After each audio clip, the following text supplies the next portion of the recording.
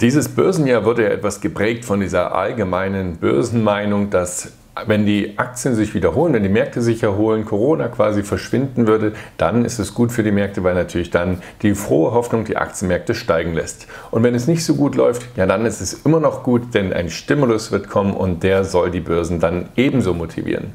Und diese Aussage, die möchte ich heute mal ein bisschen auseinandernehmen, denn sie ist meiner Meinung nach grundsätzlich falsch.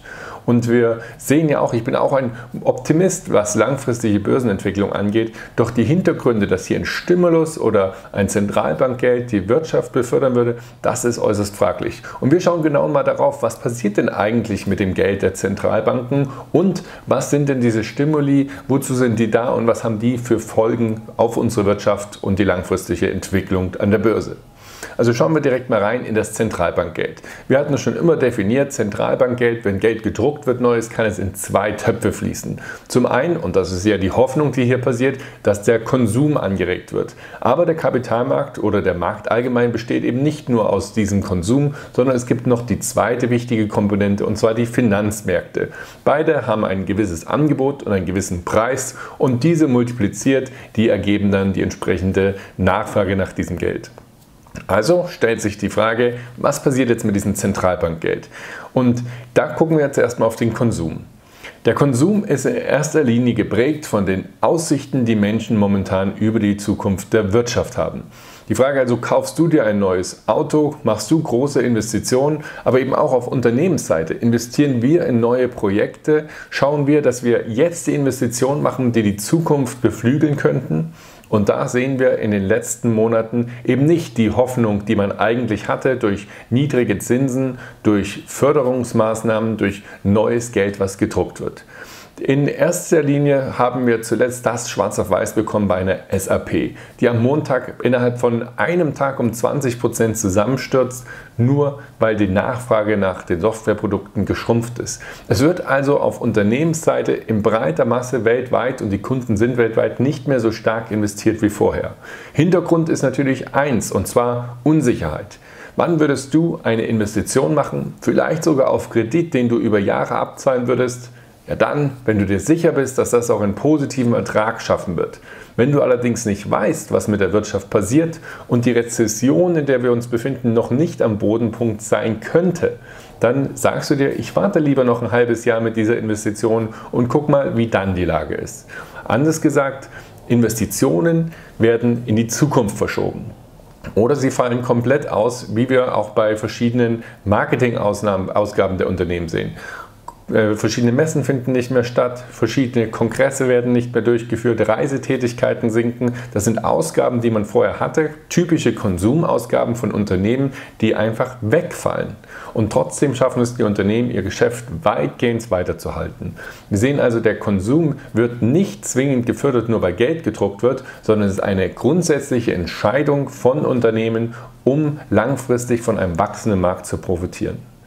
Wir sehen also auch, dass die Zentralbank dementsprechend relativ wenig Einfluss hat im Bereich des Konsums.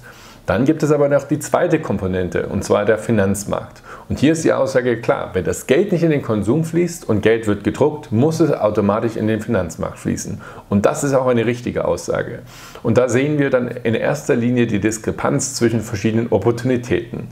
Das heißt, wir haben Auswahlmöglichkeiten der Anlage. Zum einen die klassischen Anleihen, die aber keine Zinsen mehr bringen. Genauso auch wie Sparkonten und ähnliches Tagesgeld, die alle irrelevant sind. Also müssen nicht nur große Staatsfonds, aber auch Privatanleger müssen sich überlegen, wo sie jetzt ihr Geld investieren.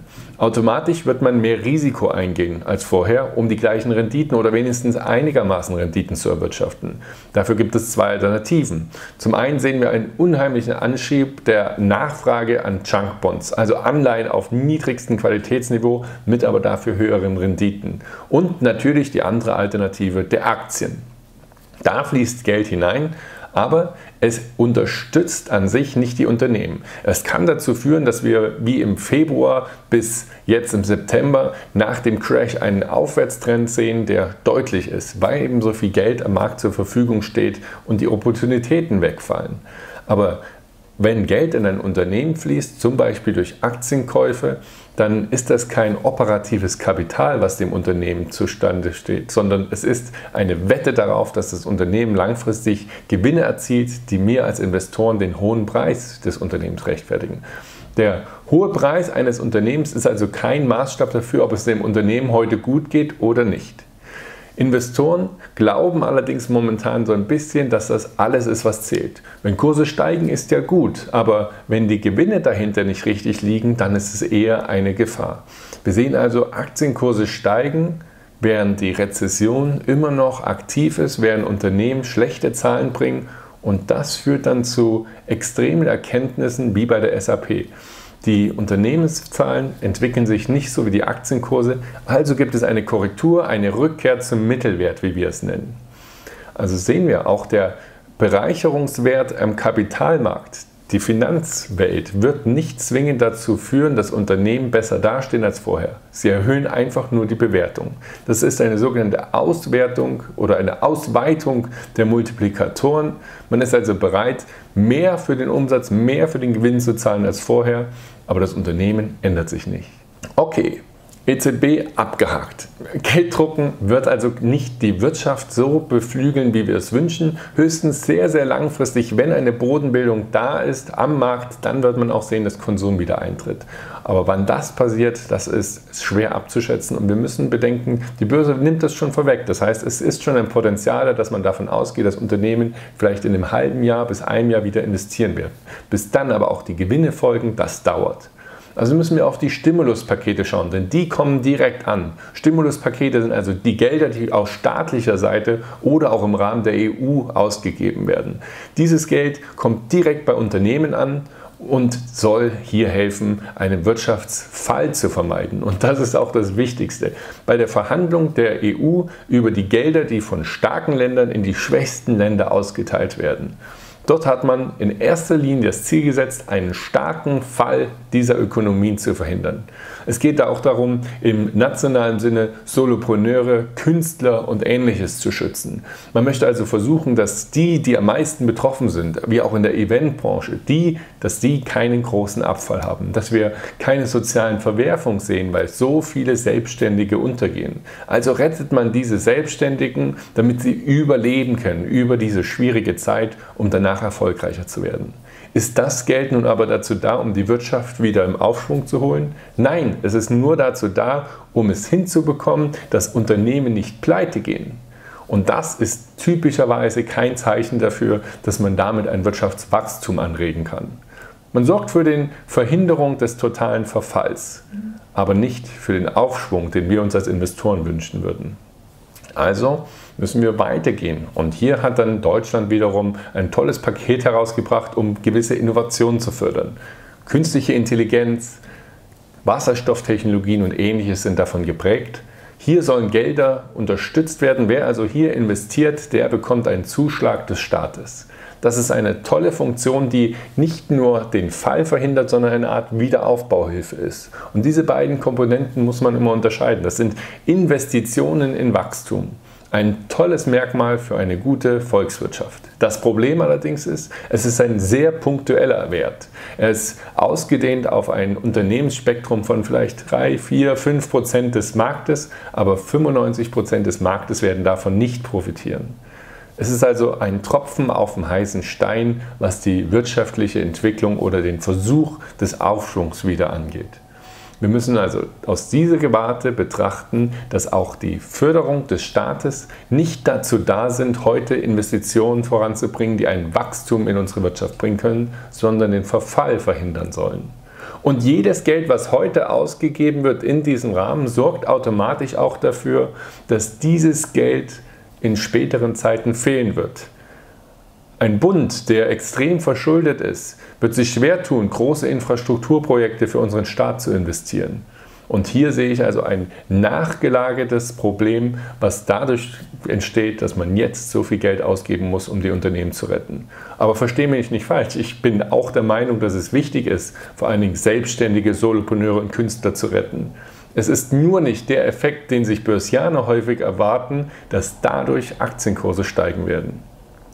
Und ich hatte im letzten Video vor einigen Tagen, genau am Hochpunkt, als es danach so stark abverfallen war, gesagt, dass ich eine deutliche Warnung gegenüber dem Aktienmarkt ausspreche. Und viele von euch haben auch darunter kommentiert, dass sie geschrieben haben, dass sie alle ihre Aktien verkauft haben oder zumindest Teile davon oder ihr Depot abgesichert haben. Und Glückwunsch an euch, ihr habt locker mal 10% Verlust gespart. Wichtig ist aber jetzt die Frage, was jetzt? Und hier ist es etwas differenzierter zu betrachten, was nun kommen mag. Meine Ansicht ist, dass ich aufgrund der dargelegten Situation nicht in den breiten Markt investieren würde. Ich selber würde mich sehr unwohl fühlen mit einem DAX-ETF, der von vielleicht weiteren Rückschlägen, die noch bis zum Ende des Jahres kommen werden, wie bei der SAP geprägt sein wird. Ich selbst bin also der Meinung, dass wir selektiver vorgehen müssen. Und wir sehen, dass einzelne Unternehmen in den letzten Tagen in dem harten Abverkauf deutlich unter Druck gekommen sind, obwohl sie eigentlich ganz gute Zahlen gebracht haben, obwohl sie ein Wachstum in diesem Jahr erzielen und dieses Wachstum sogar höher ausfällt, als sie teilweise erwartet haben. Das sind die Qualitätsunternehmen, auf die wir setzen können und die trotzdem natürlich in einem Abverkauf unter Druck geraten. Ich habe mit dem Fondsmanagement des Alphastar Aktienfonds heute früh gesprochen und da ist man sich auch in breiter Masse einig, dass man diese Rücksetzer nutzen kann, um Stück für Stück zu kaufen. Ja, es kann noch weiter fallen und dann werden auch diese Unternehmen betroffen sein. Aber es ist der Zeitpunkt gekommen, Stück für Stück seine Position an guten Unternehmen mit guten Bilanzen und Wachstum zu erhöhen.